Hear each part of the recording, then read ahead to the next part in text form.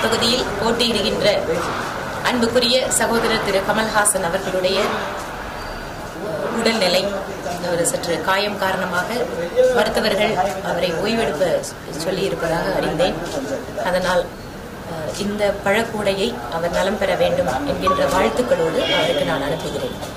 ஏனென்றால் இந்த கொங்கு மண்ணினுடைய பாரம்பரியமே விருந்தினர்களை உபசரிப்பதும் அவர்களுக்கு உடல்நிலை சரியென்றால் வீட்டில் சென்று பழங்களோடு பார்க்கறதோ அப்படிங்கிறது இந்த மண்ணினுடைய பாரம்பரியம்.